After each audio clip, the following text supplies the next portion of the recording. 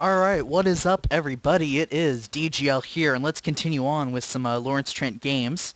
Yeah, I actually had to go out of town un unexpectedly, so yeah, apologies for uh, a little delay in some uploads. You know, it happens. Life happens, you know, you know the drill.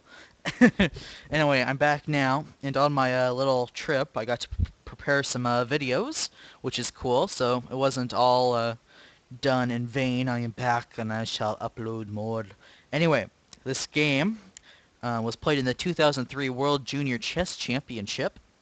Um, yeah, so let's see how it went. Lawrence Trent with the black pieces, and um, his opponent... Friend departed. Oh, I lost a friend. Um, his fr um, his opponent, not his friend. Maybe they're friends. I don't know. Um, I don't believe this is the full name, but um, maybe it is. I don't know. ICC can only fit so many characters, so yeah, that might be missing like an E or something. You never know. um, but uh, you could check the link in the description to see if that's his whole name. Anyway, let's jump right into it. Um, Lawrence having the black pieces, and we quickly get into a Ruy Lopez. All right. Black opting for the bishop c5 line, c3, um, castles, all normal. d4 hitting the center. Alright, and dropped back. Which is a bit of a, yeah, okay. Gambly move. Bishop g5, of course, pinning the knight. Very annoying. And h6, putting the question to the bishop. And the bishop just calmly retreated. d6, adding some support to the center a4, setting up uh, maybe a little trap. uh, let's say black played a nothing move. Let's say king h8. Then white can just take on c6. And then play a5, which would trap the bishop and win it. So um, obviously that's something black wants to avoid. So, after a4, Lawrence played a5, just stopping the pawn in its tracks. h3, making sure no piece can get to g4 which makes sense. And g5, which is a curious but interesting move. You always have to be careful when pushing your kingside pawns, because um, your king can become very weak or loose, we could say. There's a bit more yeah, air in front of the king. But here it's interesting. Um, what? Let's just um, quickly take a look. Let's say bishop g3. The knight takes e4 is um, very good for um, black as he's won a central pawn. Um, perhaps um, f5 is coming, which um, I'm a little partial to. Friend arrived. You never know. Yeah, I got a friend. Anyway, that wasn't played. So what did white do? He just sacrificed a knight. Why not? um, yeah, getting two pawns for the knight. I don't think it's working, um, as the game will show, but uh, it's interesting. Alright, king g7, knight d2. Um, also possible was queen f3 there, but um, okay, knight d2 is chosen. Knight e7, good move, breaking the pin, of course. Alright, queen f3 now, okay, attacking the knight. But knight h7, very nice defense. Now attacking the bishop. And the bishop calmly retreated. Alright. So, knight g6. Okay. Knight c4. And here, the computer rather likes the move bishop a7, pointing out that knight takes a5 is not so good in view of c6. Um, yeah, with the double attack. You could maybe take a look at knight takes c6, takes, and uh, yeah, black is up a knight pair, but white has four pawns. I don't know. It should be won with good technique. But, okay, four pawns against two knights. Yeah. Alright, but anyway, this should be good for black, of course, with the knight pair. So bishop a7 is sort of the computer idea. But that wasn't played. And knight g5 was. Alright. So, queen h5 counterattacking on the knight. And knight f4 the knight was picked off. And h4 putting the question to the knight. Now only the only move to keep um, the edge is maybe the somewhat obvious. Knight takes e4, getting one pawn back, and um, yeah, uh, moving forward, I guess you could say. All right, queen f3, uh, putting uh, pressure on these pieces. However, queen takes h4 was played, just completely taking the h-file, but giving up the knight, which was taken. And rook h8. Okay, so we have some mate threats. White um, had to address that and played f3 with a, a with a um, escape square. All right. And bishop h3, very fancy. Um, yeah, of course, white doesn't really want to take. Here we could first look. Knight e3 was played, which is a tricky move. Um, of course, taking the bishop is Check. not very, uh, yeah, advisable Checkmate. due to this. However, knight e3 was played, one point being taking, takes, takes, takes, takes. And, okay, this is probably still favorable to black, but, okay, it's a game still, maybe, roughly. Scary, I mean, I, king f6, rook g8 looks scary to begin with, but, okay. However, queen g5 was played anyways. Okay, so now really threatening the knight, and also eyeing the g2 square.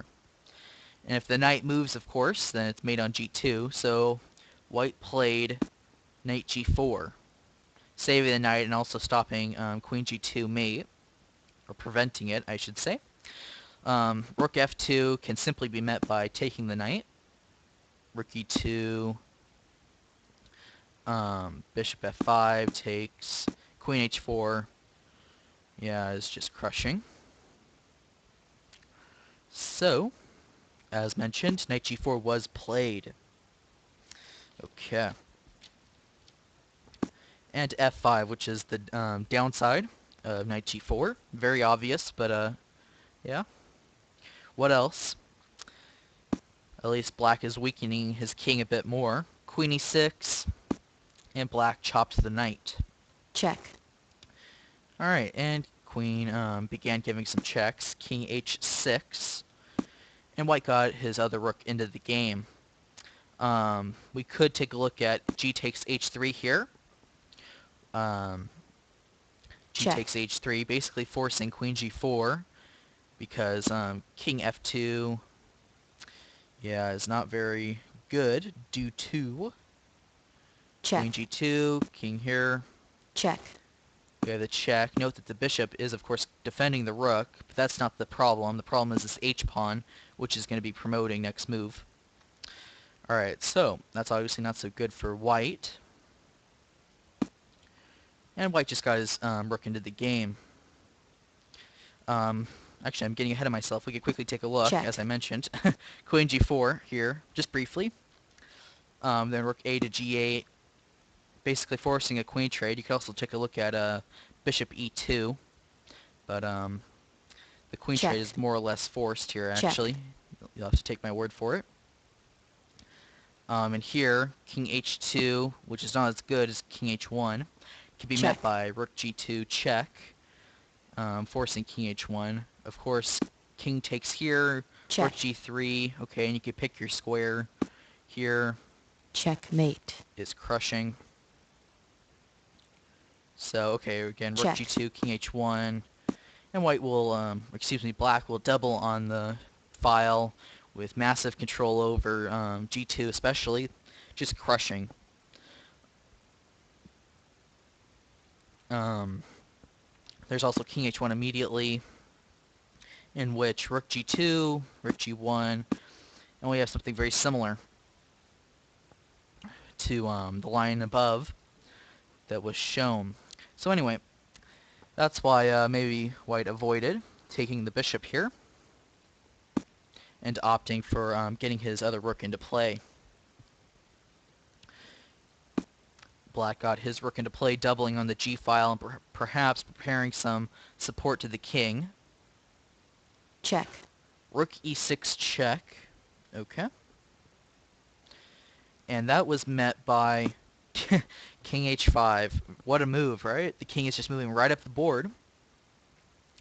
Um, of course, now taking is not quite as interesting due to, um, yeah. Um, due to what? G takes Check. f3, of course. um, brain freeze there. Rook um, king f2 is met by checkmate, checkmate. So yeah, note of course that the rook is stopping the queen's defense of that square. So anyway, king h5, moving right up the board, no fear. And rook e7. Alright, so let's say black plays a nothing move here. Let's say, I don't know, uh, bishop a7. Then rook Check. here forces a rook trade because king here checkmate, is not very good. So, we have the trade, check, and the only move is queen h6, but then the rook is undefended, and white has won material. So that's the threat. Of course, um, the threat was noticed, and how did black defend this? he played king h4, just moving the king up again. what a move. Um, yeah. check, Rook h7 was played anyway, and to top it off, king g3. the king is a fighting piece, right? Very nice. Um, yeah, look at that king. He's just fighting for those squares. The bishop. Oh man, what a position, right? We have um, queen e6. Before um, we move on, we could take a quick look. Um, does black threaten anything here? I mean, is there already threats? Uh, let's say white played a nothing move. Let's say b3. Then queen e5 is super, super, super strong. It's just absolutely crushing. Um, yeah. With threats of, uh, yeah, queen e3. Of course, if white plays a nothing move, queen Check. e3 check, checkmate, is crushing. Uh, we can also take a look at if rook e7, then bishop takes g2 is crushing with rook h1 mate to come. Look at that king, what a fighting piece. Um, there's also queen e7, which can be met by Check. bishop takes d4. check, And this is Check. just kamikaze until, checkmate, yeah, mate. So, queen e5 is very strong. But it's white. It was um, White's move, and he played king e6 and queen e5 anyway. That's how strong this move is. it can be played anyway. Um, yeah, threats of bishop takes d4, the rook, to name a few. Um, White decided on the queen trade. There's nothing. It's already busted. Queen takes, takes. We had the rook trade. And here White resigned, um, understandably. I mean, just look at this king. I mean, we could take a look at uh, g takes h3, which gets a piece back. And then you could take a look at um, both moves win. We can take a look at this one first. Yeah, opening up this diagonal. I mean, with the king here covering these squares and the rook about to enter the position and, the, in, in an incoming bishop check, it's just absolutely crushing. So, yeah. Understandably, after the rook trade, seeing all this was coming, uh, it's just absolutely crushing. White re did resign. So yeah, what a, what a good game. Look at that king run. It reminds me of a, oh I forget, a Nigel Short game where he ran his king up. Uh, was against Topalov, I forget. Oh, it's a famous game. Oh, that's embarrassing. I should remember this. Hmm. But yeah, um, maybe I'll put a link in, into the description about that game too, which also um, one of the most famous king runs.